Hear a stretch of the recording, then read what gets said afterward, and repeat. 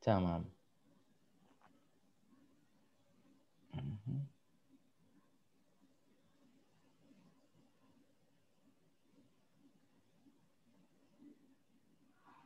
زين اوكي هاي اسدها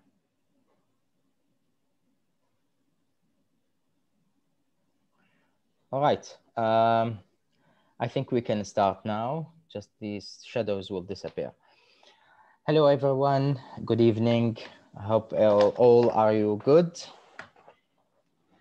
Uh, and I think I will start now the MRI. First session was about general uh, principles of MRI finding, about the T1 and T2, about the echo uh, gradient and the stir images what are the special uh, part in the musculoskeletal system and how it, they are appears in the uh, MRI and uh, what kind of MRI part when there is something related to special diagnosis.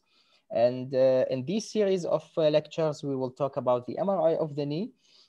And especially today, we will start about the cruciate ligaments, all right? Uh, I will not be bothered you about the post-operative ACL and PCL uh, reconstruction. So we want to know about the diagnosis of tears in the cruciate ligaments only. And this is regarding the part one. Part two will be about the menisci and other soft tissue injuries and uh, ligament about uh, uh ligament injuries and the soft tissue tumor-like uh, structures, tumor, tumor-like disorders, sorry. So as a learning objectives, we will start about in, to know what are the normal uh, signal intensities regarding the cruciate ligaments and what about their orientation and MRI anatomy. And the second thing is that to describe any abnormality in the uh, magnetic resonance signals about how to uh, how they appear in both T1 and T2. And uh, we need to uh, know about a thorough approach about the partial and complete tears and uh, if are there any anything in absence of the ligament, like no signals around the ligament, there are some pitfalls. There must be no tears uh, regarding these uh, objects. So how about the anterior cruciate ligament? Uh, regarding the technique, you know that this supine position of the patient uh, in the uh, MR device and then, sorry, the patient will have an external rotation about 10 to 15 degrees. And sometimes the technician will do a sagittal oblique orientation in order to orient the, uh, hello, welcome, uh, in order to, uh, to orient the uh, section of the MRI with that of orientation of the uh, ACL. Regarding the ACL thickness, it must be three millimeter slice. all the planes are required, like the sagittal, coronal, and axial. We always depend on the sagittal views. We always uh, do a sagittal view, but when we when there is an something inconclusive regarding the sagittal, we need to know about axial view and coronal as well. They are indicative.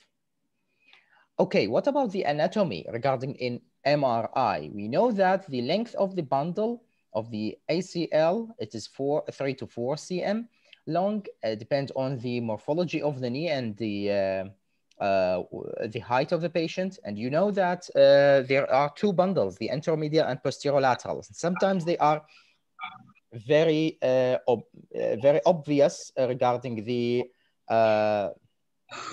sorry, there are some sounds, please. Uh, so uh, do you have a mute? Excuse me. Yeah, and uh, there these two bundles may together uh, appeared. I'll have a mute here.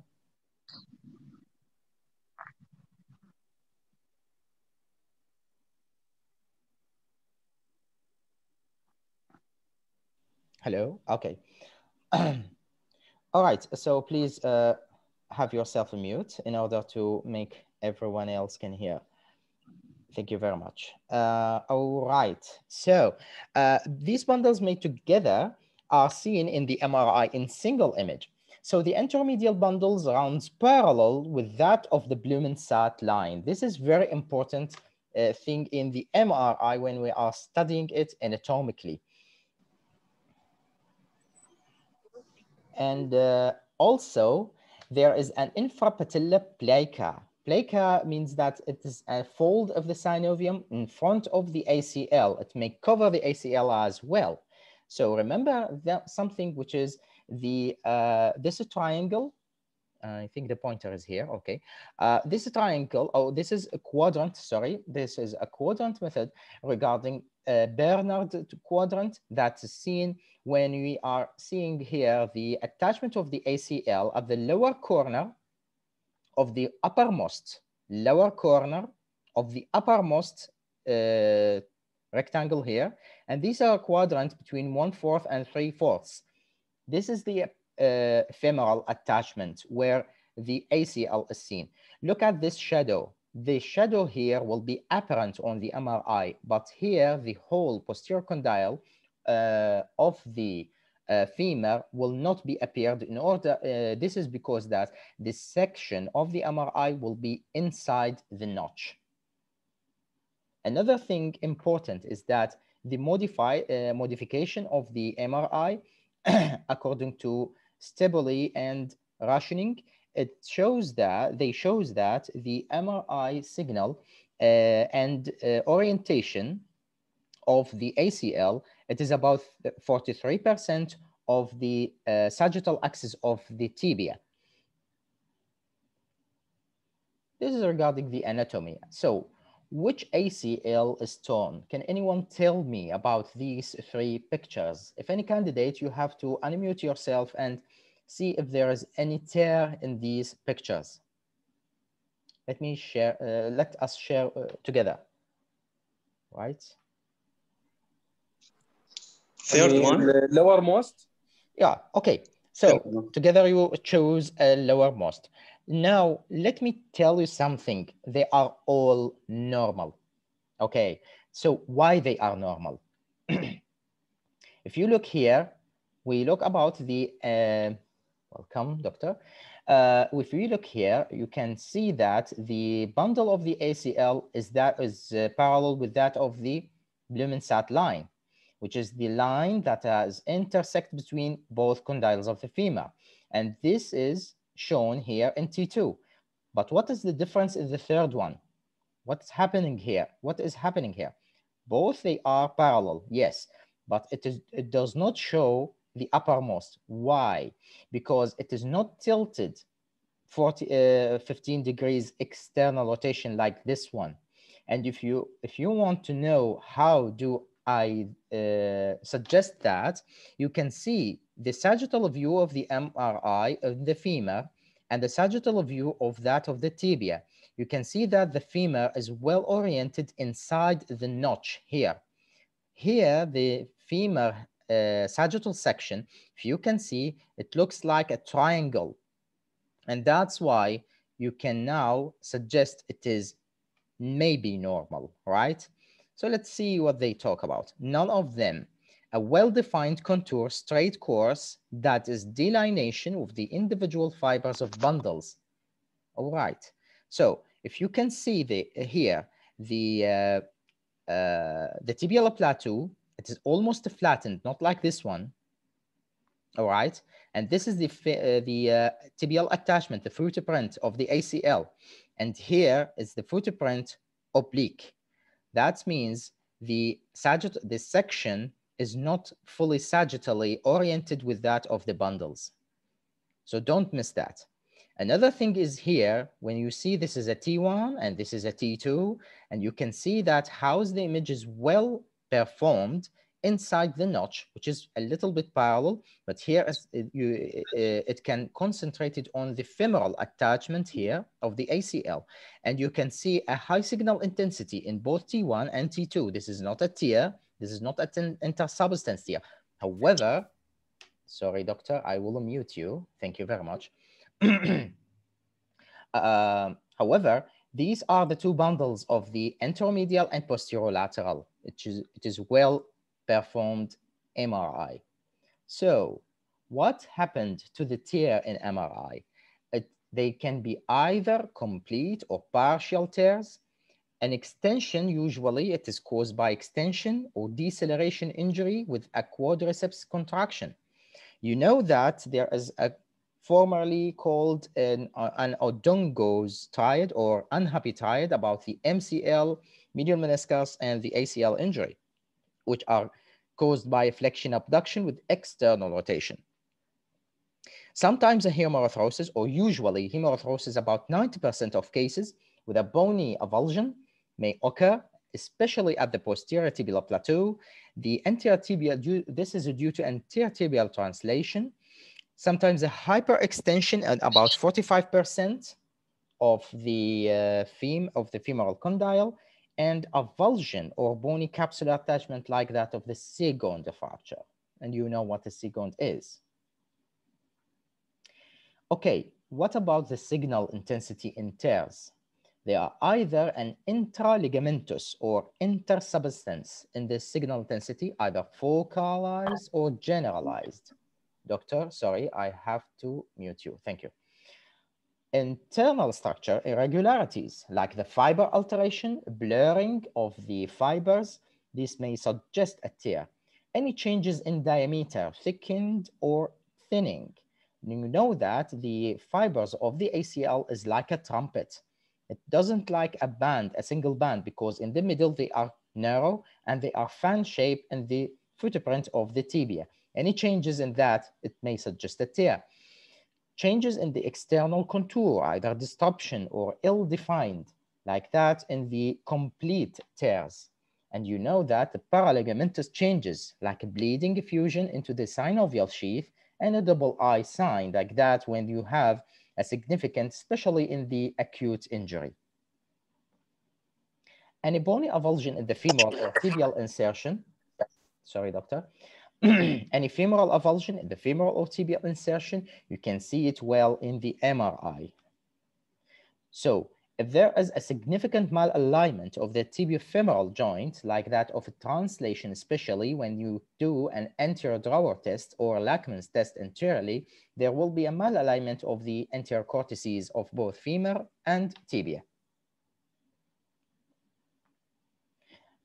now, what about grading? There are many grading systems, but however, however, in MRI, a suitable and a worldwide uh, convinced uh, system according to uh, grades the tears according to the site and partial or complete. So a strain or subtle mid-substance tear, there are only intraligamentous structure changes, the increased signal intensity on T1 and T2, bulk fiber are intact, unimpaired external configuration. This is very important here and there's unchanged, no change in the contour, thickness, or length of the ACL.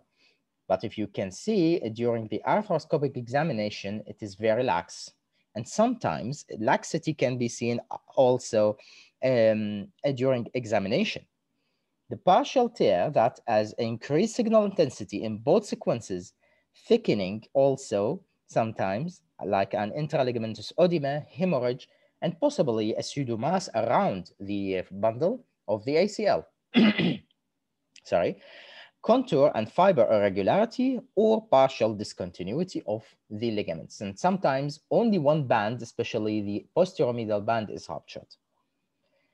While complete tear, a pronounced increase in signal intensity, discontinuity completely or potential retraction of the ACL. And I will add for you an ACL chronic injuries, and we, uh, we can see it in many patients with the chronic tears, it may be attached to that of the PCL and deviation from the normal course like that uh, posteriorly and possibly a pseudomass. Not only a pseudomass, but there is a fibrous union or fibrous attachment of the a ACL. Sometimes a cyclope lesion when there is a rupture in the uh, distal uh, part of the ACL or a uh, reverse cyclope like that when it is ruptured from the femoral side and turn over itself. Okay, how does it look? Uh, many suggested that there is an increased signal intensity, overall increased signal intensity of the ACL in both T1, T2, and uh, T2 weighted image. Fast echo, this uh, means fast echo, this asterisk, and uh, gradient echo and uh, the stir fast uh, saturation, you know, everything has an increase in signal intensity. And uh, you can see that the, uh, the synovium, the, if there is a fresh hemorrhage, okay, a fresh hemorrhage, a bony bruise that is well seen by the fast echo, and intraligamentous edema, also in T1, uh, in T2, sorry, and uh, stir. And if there is any ligament tear, everything is high in signal intensity. So you know, in zero, no signal intensity, a low signal intensity in uh, this arrow, two arrows are intermediate and high uh, signal intensity is there in the T2 and uh, the fast echo. So what do we have here? Know that this strain is the least and most common, least uh, seen in the MRI, but is the most common because there is a signal intensity around the ACL bundle. Thank you. And you can see also the signal intensity along the fiber. There is no low signal intensity along the ACL. So it may suggest because of the T1 image is intact, both the femur and tibial attachment. So in the left, both sequences shows an increased signal intensity of the ACL and pronounced in tibial two-thirds that is spreading fiber is a slight, a bulk fibers, fibers, and this is called an ACL strain or uh, uh, just strain. There's no tear. What about this one?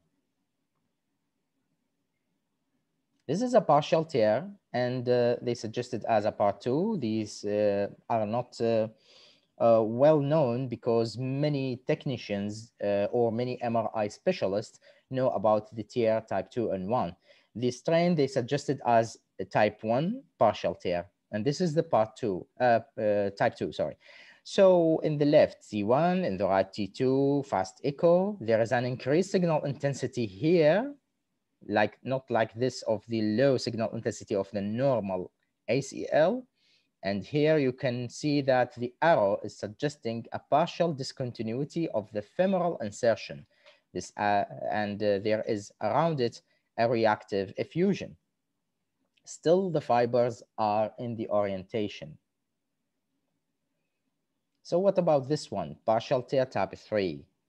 The difference is that a pronounced signal intensity in both T1 and in T2. It is very well seen in T2 of the both sequences. A marked thickening, you know that the fiber is thin. You have to be sure about the 3 millimeter or 3.3 millimeters. But here you can see that it is very thickened.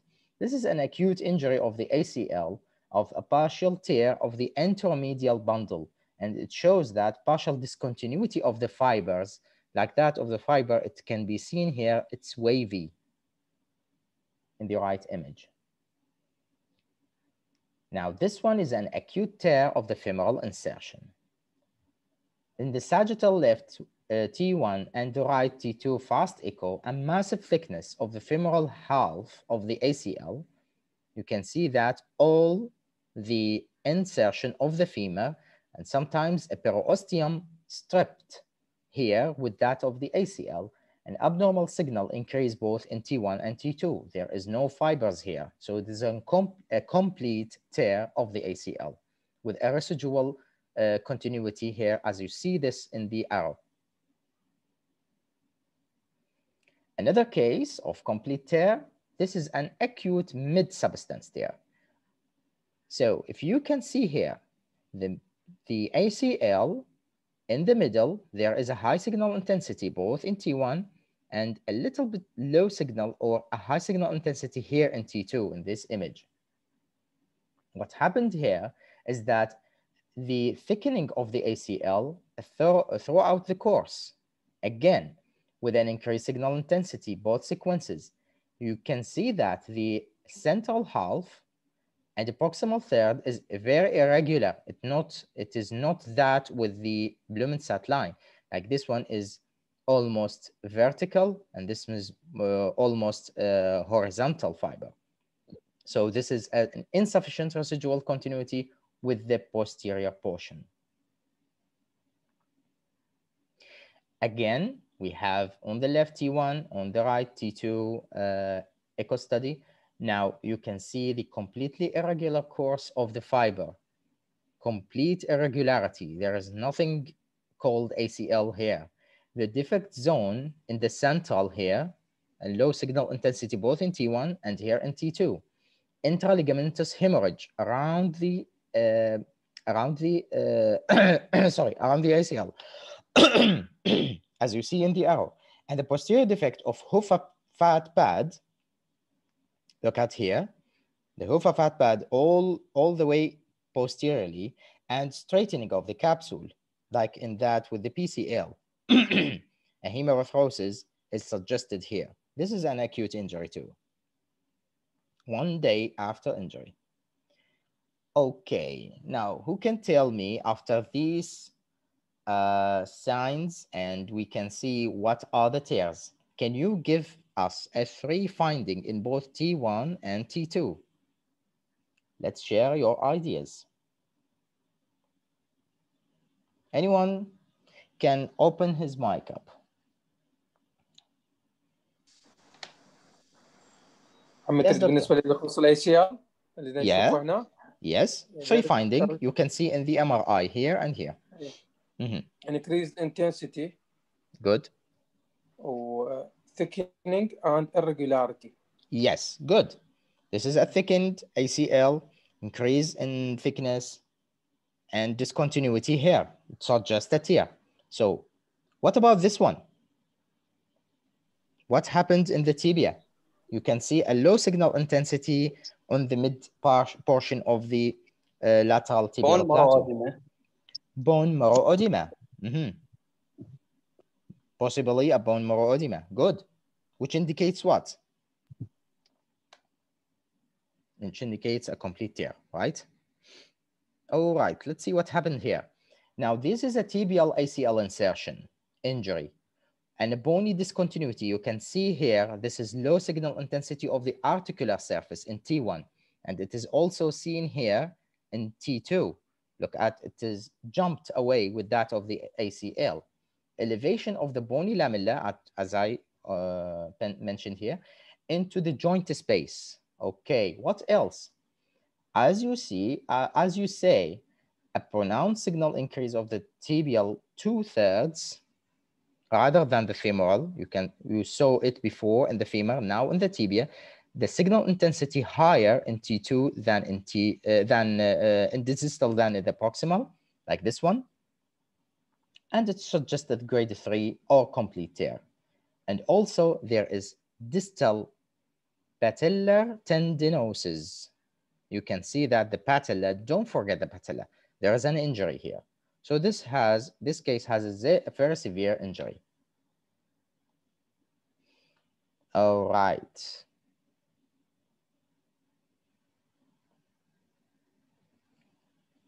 Okay. What else you can see? Who can say uh, this one? Oh, newcomers, hello. هسه اللي عنده مايك خليه يحكي. What can you see here in T1 and T2? عراقيين حركات والله. Sorry? هنا من العراق ينزلون محاضرة من العراق. Uh, I suggest that you open your mic in order to answer the question. All right, who can see or who can say what are seen in this MRI? Let's share our ideas. Please open your mic.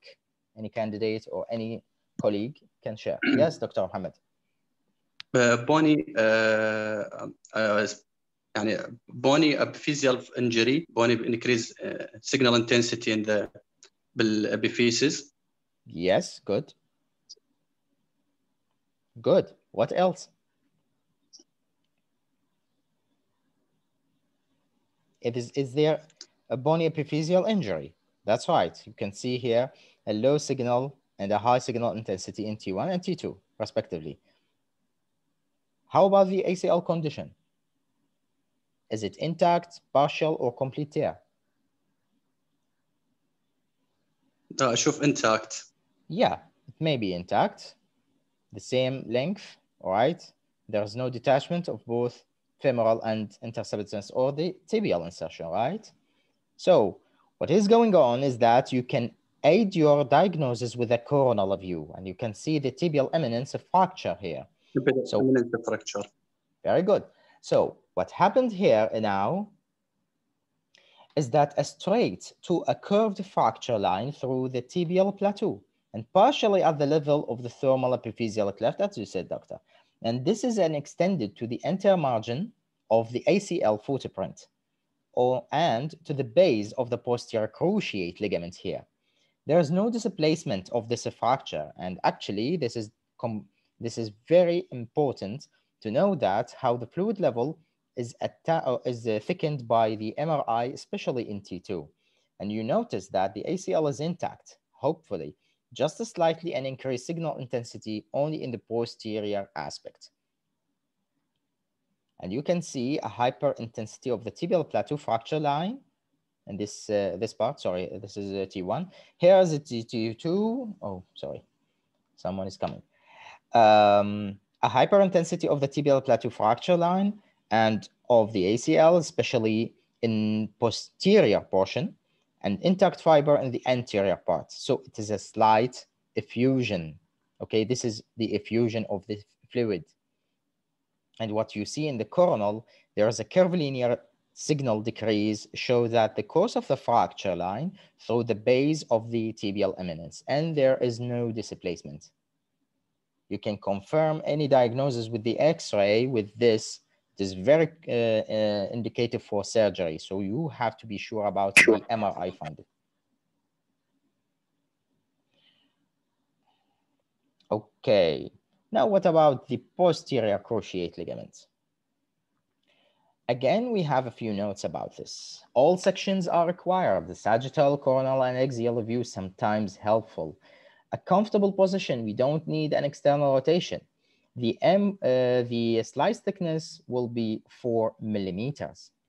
Regarding the MR anatomy, like that of the ACL, it considers the PCL, the posterior cruciate ligament, is the longest ligament, which starts from the anterolateral medial femoral condyle, slopes posteriorly into the posterior tibia. In these anatomic landmarks, you can divide our the PCL into two bundles, the anterolateral from the insertion of the medial condyle and the posterior-medial, unlike that and the reverse of the ACL. You can see also there is something called the meniscofemoral ligament, Humphrey anteriorly, Wrisberg posteriorly, and they are fairly seen in the MRI because the PCL is well-defined, homogeneous, low signal intensity, both T1 and T2. And the main thing is that you can see both this low signal intensity of the PCL in two consecutive sections. Since the PCL is relaxed during knee extension, the course is slightly curved, like figure of six in Arabic or Indian, like we see. Both men meniscofemoral ligaments, as we say before, they are not seen clearly in the vicinity of the PCL. So what about the abnormal finding? The first thing is that the interligamentous signal increase, either focal or generalized like that of the ACL. Also, there is an internal structure irregularities, spreading, undulating, blurring, which is a partial disruption the changes in the diameter, like a focal or generalized thickening or thinning of the fiber, sorry. the changes in external contour, an irregularity, a partial or complete contour disruption, changes in the course, like a more pronounced curving, kinking, and retraction, uh, which is rare, Paraligamentous structure or changes, sorry, uh, paraligamentous uh, changes like bleeding or fusion, they are very, very common, seen in the MRI. And rarely we can see a bony avulsion, and I will apply you some cases of bony avulsion, especially in the tibial insertion. And if you have it, there is a tibiofemoral malalignment, like an anterior displacement or sagging posteriorly in subluxation of the femur relative to the tibia, and a lesser degree also present with the ligament hyperelasticity and insufficiency or laxity. Okay, like that of the ACL, we have strain, partial, and complete tears, and this is the same of the ACL as we see before. So what about the normal? If you can see here in the right, uh, in the right and the left, the left shows a coronal section of a T1. It depicts the PCL like that of the arrow. You can see this is the medial femoral condyle and the medial tibial plateau is lower than the lateral and also the uh, fibular head. This is the lateral. So the ACL is visualized as vertically orientation here in the arrowhead. And this is not an empty notch sign because if you missed the ACL as previously, you can uh, aided by the diagnosis of a coronal section and you cannot see this part and uh, there is a signal intensity which is low in the notch and we call it an empty notch sign. As we say, figure six in Arabic, it shows in the sagittal view of the PCL low signal intensity from the femoral attachment into the posterior tibia, and it is hypotense band and slightly curved in proximal portion between the posterior margin of the intercondylar notch and the posterior tibial plateau. Now, what about this one? Here you can see the arrow. It is it suggests a high signal intensity in the in the uh, sagittal view in the mid portion exactly of the PCL, and a pronounced signal intensity on a relative T2 image, which suggests the tear or a strain.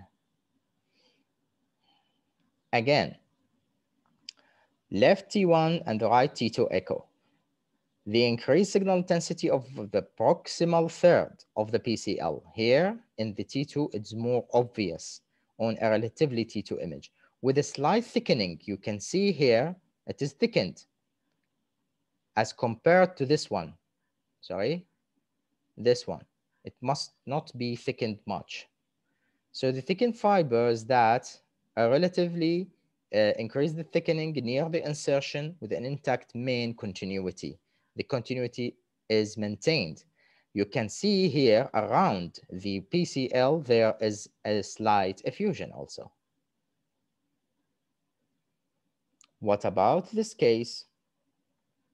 Here in the mid portion, a hyper intensity throughout the course of the PCL, and it is a tube or rail-like margin continuity, okay? The slight joint effusion and in an atraumatic posterior knee pain. This case has no trauma, but is a uh, repetitive knee joint subluxation without a trauma. This is this case a partial injury of the PCL. Now, the more severe injury, the more bizarre shape of the MRI looking. You can see a, a signal intensity is increased in T1 in relative to the hypo signal intensity of the normal attachments of the PCL and femur and tibia. And the contour distension of the PCL also, you can see it is thickened. It is a pronounce in T2 and uh, in the central third especially, and inadequate residual discontinu uh, continuity. So this is a complete tear one week of a player with a contusion.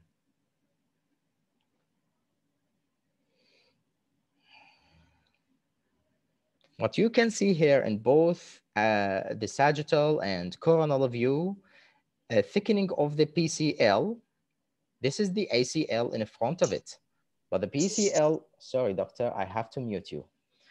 the PCL here is uh, thickened along the course, discontinuity from the femur, or sorry, from the middle portion, and inadequate residual continuity of the fiber as well as it is seen in the uh, coronal section when we are compared to the normal one. Now, a massive thickening abnormally, abnormally in signal increase of the PCL through the course and central third and distal third, especially in T2. It shows that completely discontinued and severe hemarthrosis, which is most clearly in T2. What about this one? If you can see here, the, the liner signal decrease in the tibial plateau. And this suggests a disruption or a detachment or avulsion of the PCL. And you can see the PCL here, it is good and uh, good uh, low signal intensity, but here is low and detached from the uh, tibial attachment. And here you can see that the distal portion is slightly compressed in PCL. Again, the same picture, it is very well and clear that the detachment of the PCL is seen in the T2 image with a slight displacement about half centimeter.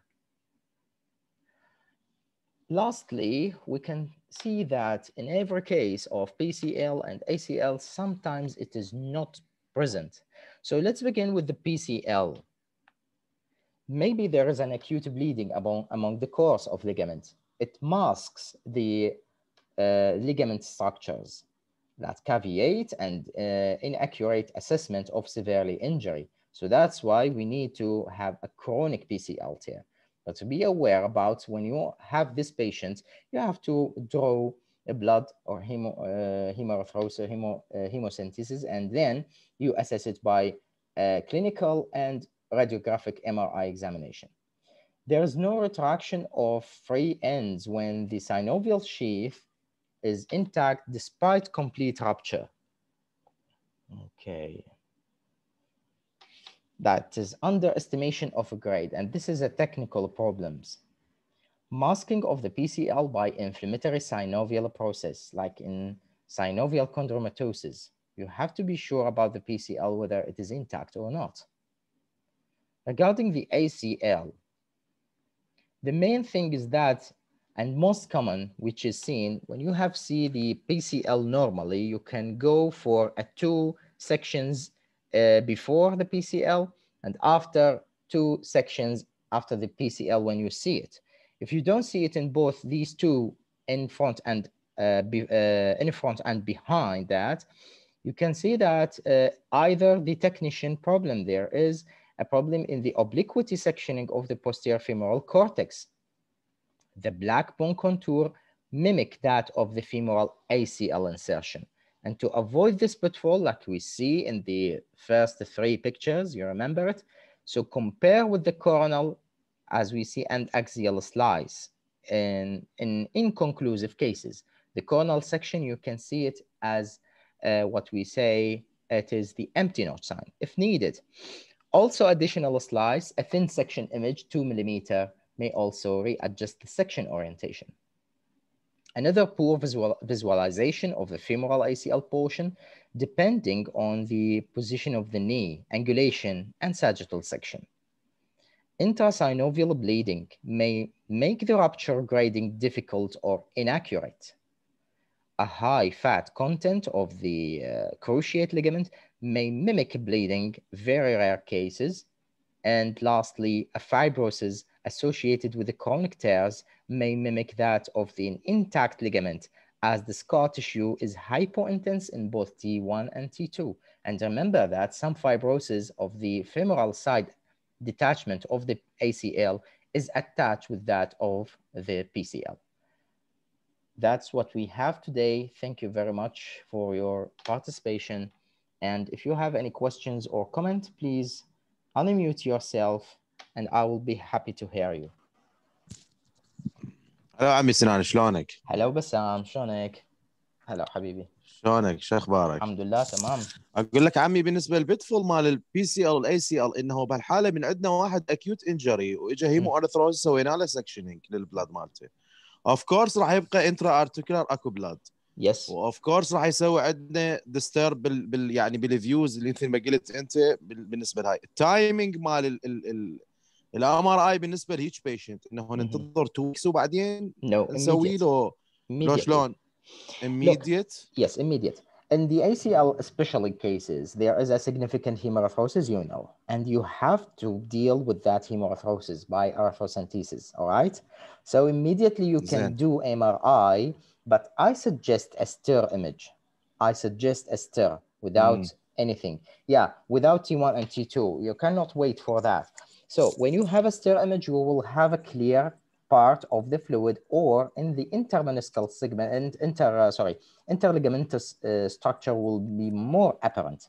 If you have a doubt again, then you can do an immediate arthroscopic, and it is not diagnostic, immediate arthroscopic uh, evaluation of the ACL and uh, reconstruction as well. زين عمي هذا الهري up بال investigation Yeah. يعني شنو البنفيت من عنده؟ هو احنا اوريدي يعني البيشنت وذ اي سي ال انجري راح يجي انه رينج اوف موشن مالته not like the normal person Of course. already احنا we waiting for two weeks لحد ما انه regain normal يعني range of motion Mhm. حتى نفوت على intervention وياه صح لو لا؟ Well, actually, the uh, intervention of ACL is either do it or wait.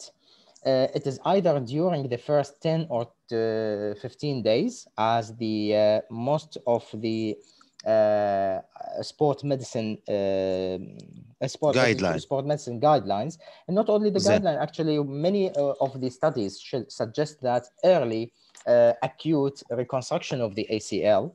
So you can do it within the 15 days or if there is an organized hematoma, you cannot do it until you wait for one uh, for six weeks or uh, eight weeks. يعني بهالحالة إحنا إذا خلينا مثلا ام ار اي ورا تو ويكس إنه نقدر نقول هذا يعني برنسبل نخليه أو يعني كوريكت هذا الموضوع مو إلا ايرلي كلش أنا هذا اللي. قصدي Yeah. يعني okay, بالامتحان إذا سألني تعرف. بعض اسئله مثلا يقول لك شو وقت تسوي الام ار اي هيجي شو وقت. تسوي له يعني هسه لازم هسه بعد يومين ثلاثة مثلا أقول لك تو ويكس لحد ما ريجين أو إنه سبسايد الهيمو ارثروسيس يعني بهالحالة على مود ما يخلي هاي البيتفولز اللي قلت عليها انت يعني but you change it into a chronic reconstruction because يعني after 15 days of ACL tears you have to wait for more than two months right uh-huh. so you have to do it immediately within the two weeks يعني اذا احنا Uh-huh. You have to make يعني... it clear, more clear. And you suggest for the MRI technician to do a STIR image, all right? Uh. Uh-huh. يعني هسه اكو اي سي ال انجري انه خلال اول تو ويكس يفوتون على انترفنشن سكوب مباشره Yes. Yes. أها أها An أوكي، acute reconstruction أوكي. of ACL. Mhm. أوكي أوكي شكرا Thank you very much for your question. Yeah, if you have uh, not wanted to talk, uh, you can chat, uh, you can write in the chat box. Uh, عفوا نعم. Yes, please. السلام عليكم شلونك عمي؟ آه Hagar. عمي بس آه، سؤال آه. يعني احنا شلون اكو فد اناتوميكال ماركر Mhm. آه بال... نعرف انه هذا البيست سلايس تو فيجواليز ذا اي سي ال That's the condition of the technician because the technician is very oriented. You, uh, they have to be more oriented about the orientation and position of the knee or the orientation of the axial section of ACL. We, we say before we say before in the uh, in the former slides that the slices must must be three millimeters section of the ACL. This is first, and second, secondly, Yes. uh, the ACL orientation is about 43 degrees or 43% oriented from the uh, that of the the tibial uh, mechanical axis. Okay, and the third thing is that you know Mm. that the ACL orientation uh, there's a fan ba- uh, is a trumpet like. You know what trumpet is? بوق. يعني انه شلون حق البوق اذا صاير أي. هو بال بالفوتبرنت and then it will be thinning more proximally. And this is why many technicians su- suggested it is it is torn, but actually you can see it in the arthroscope and it is very thick and tight. And that's why the orientation must be with parallel with that of the mm-hmm. ACL. So when you wrote, when you need to write an MRI or prescribing an MRI, please, suggest, I suggest you to take a full history of the patient to say, where is the positive uh, Lachman's test? Uh, and it is soft or hard point in Lachman. The anterior drawer test is very important to write it down when you are uh, referring your patient into an MRI, okay? Okay, so that, mm -hmm. Thank you.